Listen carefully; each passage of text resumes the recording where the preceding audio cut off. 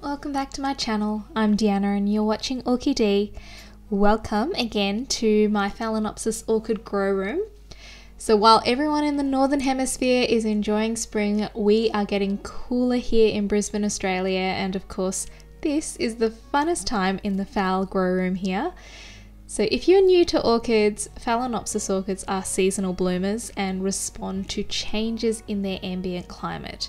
So the orchids in here are mainly winter bloomers, and this means that all through autumn and winter, I visit this room very regularly and inspect these orchids for flower spikes. So temperatures in this room have been consistently now between 18 to 24 degrees Celsius for a couple of weeks, which is a big difference from the 30 degree plus days um, of summer, which means I do have a lot of phals spiking. So I thought this was a really good opportunity to have a bit of a beginner's video now on how to tell the difference between a Phalaenopsis spike from a root. Now, obviously, everything will reveal itself over time with a little bit of patience, but it's always fun to try to guess and inspect and anticipate. So, let's just talk about some key features and then have a look at my spiking phals. So, first, let me show you some obvious examples of roots emerging. Now, I have lots of plants that have been freshly repotted in the last couple of months, so I have some really good examples of roots emerging from the stem of the Phalaenopsis. So, if you look here, when roots start, they're usually rounded in shape. They're usually green or green with a little bit of purple red tinge to it, and they also kind of have a little bit of a glossy appearance to them. And then eventually, as the root grows out, the body of that root becomes grey in colour, and then only the growing root tip remains green. Spikes will always remain the same colour as they grow. This grey part of the roots can also turn green over time, but only once the root is able to absorb moisture. So on this plant you can see that some of the roots that are lying on the bark are green in colour and that's because they've absorbed some water. So when roots initially start out and if they remain aerial it may take them a little bit of time before they can absorb water but over time all roots do have the ability to absorb water and turn green. Now, if you use clear plastic pots, you'll start getting a really good idea of what roots look like and how they can transition in colour. So you can see inside this pot, the roots are all green in colour and that's because I've watered this plant and these roots are well hydrated. Once that pot dries out, the roots will turn a grey silvery colour again, which then means it's time to water the plant. You can also see how chunky the roots are. So roots are generally thicker and fleshier than flower spikes, which are generally a little bit thinner and less shiny. As roots emerge, they can point in any direction and can emerge from almost any part of the main stem of the plant. Often they'll aim down into the medium, but not always. Flower spikes, however, will always emerge on the lateral side of the orchid stem from the base of a leaf, and usually it kind of looks like it's emerging from the leaf axil. So roots can also emerge from this same spot. So when a new growth appears between the leaves in that little spot, just in the nook between the stem and the leaf, that's when things can get confusing and it's sometimes not always clear whether that newly forming growth is a new root or a new spike. Now I want to show you some orchids with some clear spikes on them. So if you have a look at this plant, you can see that the tip of the spike is more pointed and it's flatter and it also forms a kind of mitten shape and that's how it'll emerge as it comes out of the plant. They usually end up emerging in an upward direction from the plant, but it's not the rule, and sometimes they do travel laterally, sideways as well. The main thing to note is that they are always attracted to the direction of the light. The color of the flower spikes can also be green or they can also have a purple coloring to them. It just depends on the age and hybridization of the Phalaenopsis, but they can vary in thickness, size. As they grow, though, they remain the same color and they don't form that silvery coating like the roots. As they develop, you'll also start to see nodes developing along the length of the spike. Flower spikes always emerge from the base of the leaves. Depending on the size of the plant, this usually means it emerges from the leaf axil. So that is that little groove where the leaf meets the stem of the orchid. The truth though is that it's actually emerging from the node that exists at the base of a leaf. So it can still occur at the base of the lowest leaf if the plant is small. Generally though, the spikes emerge from the base of the second or third leaf. But as with everything, there's always exceptions to this. So I want to show you some examples where the spike isn't emerging from between the leaves. So this is Phal stuartiana. It's a species orchid and you'll notice that it has a spike emerging from underneath the lowest leaf, which is, as you can see, the base of the second leaf down. You can see that it's entirely green, it's got a pointed tip, and it's growing upward but also outward from under the leaf towards the light source. Underneath it, you'll see the remnants of an old spike, and there probably used to be a leaf between those two growth points. And you can also see around it, there are roots looking fatter and rounder than the spike itself. And then we've got Phalaenopsis fuller's black leopard, which is a plant from a haul I got back in March from Robertson Orchids.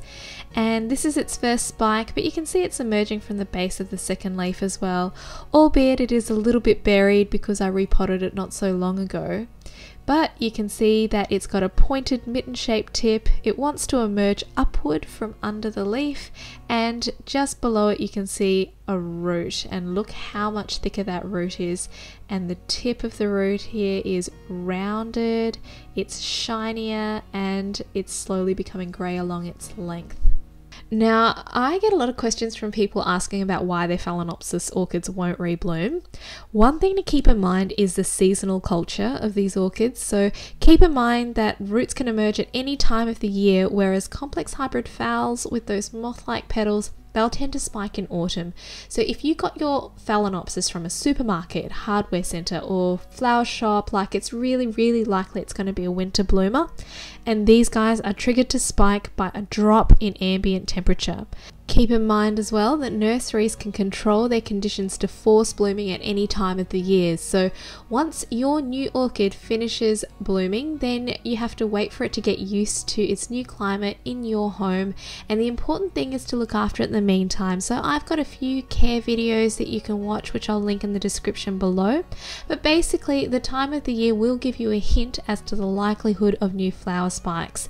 Roots can be produced at any time of the year, as I said, and often you might see several roots emerging at once. So, this will also allow you to compare other root tips for similarities of your new little growth. So, now let's have a look at some of my phals and identify spikes and roots.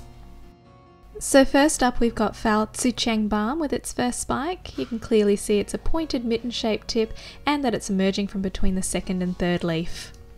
Next up, we've got Phal Allura Sunlight. I actually think it's meant to be Starlight, but not 100% sure. So, this is from Robertson Orchids as well. It was included in the haul back in March, and I actually think most of those orchids are spiking at the moment.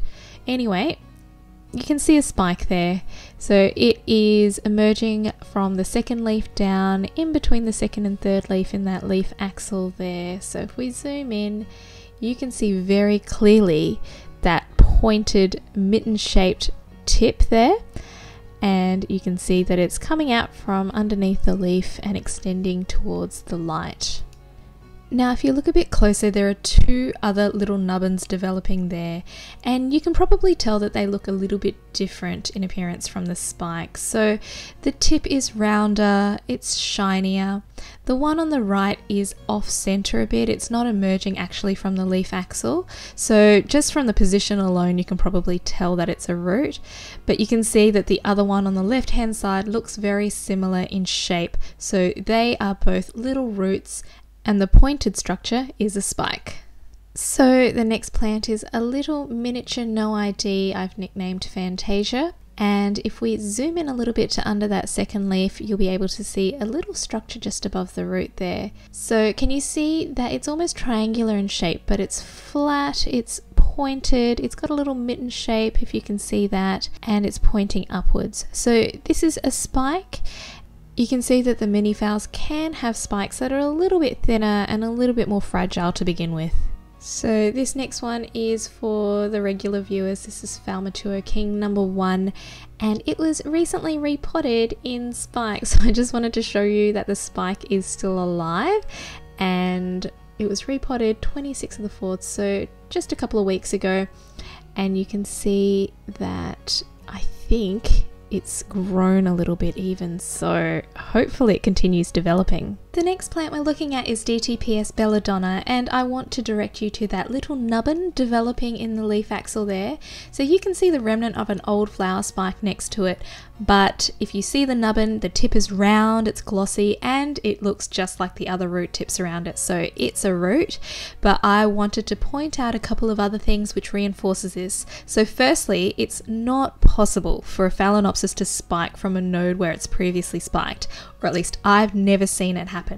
Secondly, though, I've had this plant for quite a few years and I know that it spikes in spring, so it is extremely unlikely for it to develop a spike during this autumn season.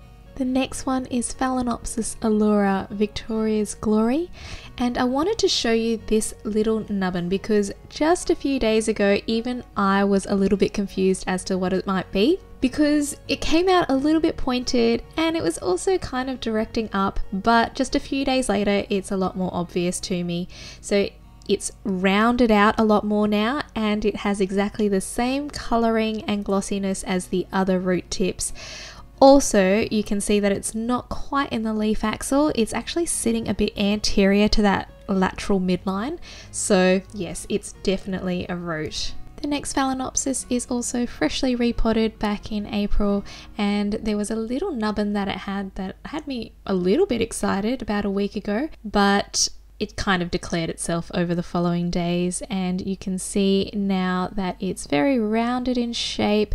It has a little bit of a pink hue, it looks exactly like the little root that's growing opposite it, so yes, it's definitely a root. And last of all, we have Phalaenopsis allura vesuvius, and it has a really nice example of both a root and a spike growing side by side.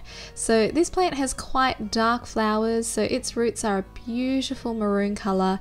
So it's a little bit more obvious here, telling the difference between the spike and the root by color, but I think it's a really great example of how much chubbier the roots are compared to the spike and how the shape of that spike as it emerges is clearly different.